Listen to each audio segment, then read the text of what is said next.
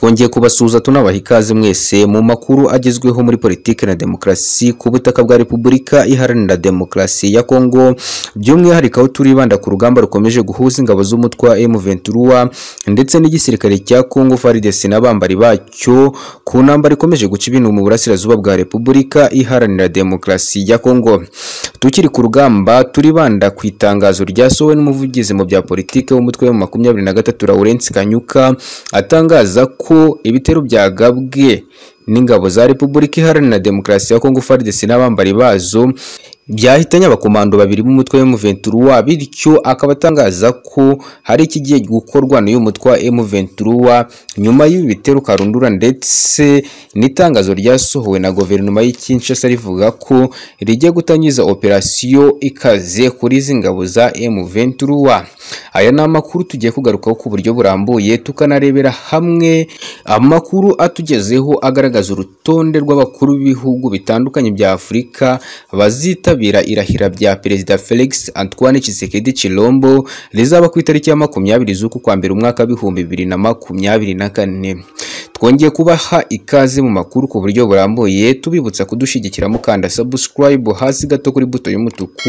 munakande no kukazogera kugira ngo mujye mukomeza kubona amakuru ndetse n'ibiganiro tubagezaho bigezweho muri politiki na demokarasi kandi mubibonere ku gihe tubahaye ikaze. Mu gitondo cyo kuri tariki ya cumi na karindwi mutarama uyu mwaka w'ibihumbi bibiri na makumyabiri na kane habyutse ibitero karabutaka byagabwe n'igisirikare cya Repubulika Iharanira Demokarasi ya Kongo FARDC gifatanyije n'ingabo za SADC ni ibitero bagabye ku birindiro by'ingabo z'umutwe wa M23 bakoresheje indege z'intambara ziri mu bwoko bwa Sukhoi makumyabiri na kane ndetse na drone zizwiho gutata ndetse no kurasa mu birometero byinshi aho izi ngabo za FARDC ndetse n'ingabo za SADC bagabye ibitero biremereye ibitero bagabiye mu ntera ndende aho bari bari kure ku buryo igisirikare cya M23 cyatunguwe kandi bikakigora guhita kizisubiza bitewe n'uko izi ngabo zarasiye mu birometero bya kure cyane. Amakuru akomeje kuvuga ko iyi mirwano ikomeje gukomera ndetse aho kuri aya masaha y'umugoroba naho imirwano ikomeje kurimbanya hariya ikabumba ndetse no mu tundi duce tugeze Kivu y'Amajyaruguru. Hariya ku butaka bwa Repubulika Iharanira Demokarasi ya Kongo umuvugizi wa M23 asohoye itangazo rigaragaza ko nabo bafite indi myiteguro kandi bagiye gufata ingamba zikomeye cyane zo kugaba ibitero karundura mu rwego rwo kwirwanaho kuri izi ngabo za Repubulika Iharanira Demokarasi ya Kongo FARDC ndetse n'izi ngabo za Afurika y'Epfo SADC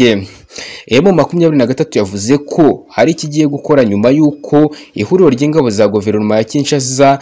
izishe abakomando babo babiri.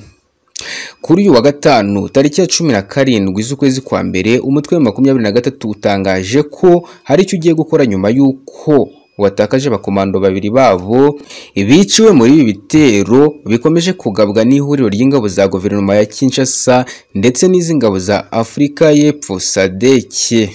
Ibi biri mu itangazo M23 washize hanze ririho umukono w'umuvugizi w'umutwe mu bya politike Lawrence Kanyuka ni itangazo rikomeje rigira riti kuwa kabiri tariki ya cumi na gatandatu z'ukwezi kwa mbere umwaka w'ibihumbi bibiri na makumyabiri na kane ubutegetsi bwa Kinshasa bwongeye kurenga ku mwanzuro wo guhagarika imirwano ubwo bagabaga ibitero ku barwanyi bacu ba M23 ndetse bikaza gupfiramo abakomando babiri ari byo bitero bikomeje kugaragarana n'uyu munsi bakomeje kutugabaho hariya mu birindiro dukambitsemo muri Kivu y'Amajyaruguru mu burasirazuba bwa Repubulika Iharanira Demokarasi ya Kongo. Itangazo ryakomeje rigira riti kubw'iyo mpamvu M makumyabiri na gatatu yumvishe ubwo butumwa bwoherejwe n'ubutegetsi bwa leta ya Repubulika Iharanira Demokarasi ya Kongo buvuga ko bugiye gukora operasiyo karundura yo gutsemba ndetse no kutwirukana aho dukambitse hariya muri Kivu y'Amajyaruguru kandi natwe ibyo byadukomanze ku mutima twiteguye neza kubasubiza no gutsinda ibyo bitero bakomeje kutugabaho tugendeye kuri ubwo buryo nabo bashatse gukoresha. Iri tangazo ryatanzwe na M23 ntiryigeze rigaragaza amazina y'abo basirikare bakuru biciwe mu bitero bagabweho n'iri huriro rya RDC ndetse n'ingabo za Afurika y'Epfo SADC ariko amakuru yakomeje gucicikana ku mbuga nkoranyambaga zitandukanye yakomeje kuvuga ko mu bapfuye harimo Colonel Castro Mberabagabo wari ushinzwe ubutasi bwo muri uyu mutwe wa M23. Uru rupfu rw'abasirikare ba M23 ruvuzwe mu gihe igisirikare cya Repubulika Iharanira Demokarasi ya Kongo cyari cyashize hanze operasiyo nshya. Bagiye gukoresha bo n'ingabo za Afurika y'Epfo SADC mu kurwanya ndetse no gusenya ibirindiro by'izi ngabo z'umutwe wa M23. Naha dusoreje iyi ngingo reka dukomezanye n'indi ngingo ivuga ko ndetse inagaragaza neza urutonde rw'abakuru b'ibihugu bazitabira ukurahira kwa Perezida Felix Antoine Tshisekedi Chilombo kuzaba ku itariki ya makumyabiri z'uku kwa mbere uyu mwaka w'ibihumbi bibiri na makumyabiri na kane. Mu gihe ukurahira kwa Tshisekedi byegereje bamwe mu banyacyubahiro bazitabira umuhango wo kurahira kwe bamaze kumenyekana nk'uko byatangajwe na bimwe mu binyamakuru bikorera ku butaka bwa Repubulika Iharanira Demokarasi ya Kongo. Nyuma y'uko komisiyo yigenga ishinzwe gutegura amatora seni muri Repubulika Iharanira Demokarasi ya Kongo itangaje ko Bwana Felix Antoine Tshisekedi ari we watsinze amatora nyuma y'aho urukiko rurengera itegeko nshinga muri RDC ruza kubishimangira hemejwe ko tariki yo kurahira kwa Perezida Felix Antoine Tshisekedi kuyobora byeruye manda ya kabiri Repubulika Iharanira Demokarasi ya Kongo bizaba ku itariki ya makumyabiri z'uku kwezi kwa mbere umwaka w'ibihumbi bibiri na makumyabiri na kane. Aho rero bamwe mu banyacyubahiro bazitabira iri rahira rya Perezida Felix Antoine Tshisekedi bamwe muri bo twamaze kubatahura nk'uko tubikesha bimwe mu binyamakuru bikorera kandi byegereye leta ya Kinshasa iyobowe na Perezida Felix Antoine Tshisekedi Chilombo. Ku rutonde rw'abazitabira uwo muhango ku mwanya wa mbere harazaho perezida w'u Burundi Evariste Ndayishimiye inshuti magara ya bwana Felix Antoine Tshisekedi Chilombo banakomeje kwifatanya ndetse no guhuza imbaraga mu kurwanya ibitero by'ingabo za M23 ndetse n'ibitero bya Red Tabara bikomeje kwibasira ubutegetsi buriho mu gihugu cy'u Burundi. Ku mwanya wa kabiri dufite perezida wa Togo ku mwanya wa gatatu tukagira perezida wa Chad ku mwanya wa kane tukagira perezida wa Tanzania ku mwanya wa gatanu tukagira perezida wa Gabo ku mwanya wa gatandatu tukagira perezida wa Botswana ku mwanya wa karindwi tukagira perezida wa Afurika y'Epfo Cyril Ramaphosa.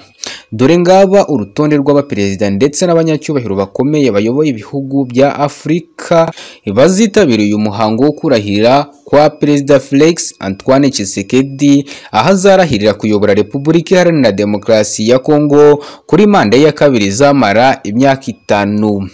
Gusa kugeza ubu impande zimwe na zimwe ntiziremera ibyavuye mu matora aho ndetse aba babihakana bivuye inyuma harimo Moise Katumbi Martin Fayulu Denis Mukwege ndetse n'abandi benshi bagisaba ko aya matora yasubirwamo. Turabibutsa ko irahira rya perezida Felix Antoine Tshisekedi Chilombo rizaba ku itariki ya makumyabiri ukwa mbere bibiri na makumyabiri na kane nk'uko iyi nkuru tuyikesha ibinyamakuru bitandukanye bivuga rumwe kandi byegereye leta ya Kinshasa iyobowe na perezida Felix Antoine Tshisekedi. Tugeze ku musozi w'amakuru twe twabateguriye tubibutsa kudushyigikira mukanda subscribe hasi gato kuri buto y'umutuku kugira ngo mujye mukomeza kubona amakuru n'ibiganiro tubagezaho bigezweho muri politiki na demokarasi tubararikiye n'andi makuru mu masaha ari imbere mukomeze kugubwa neza.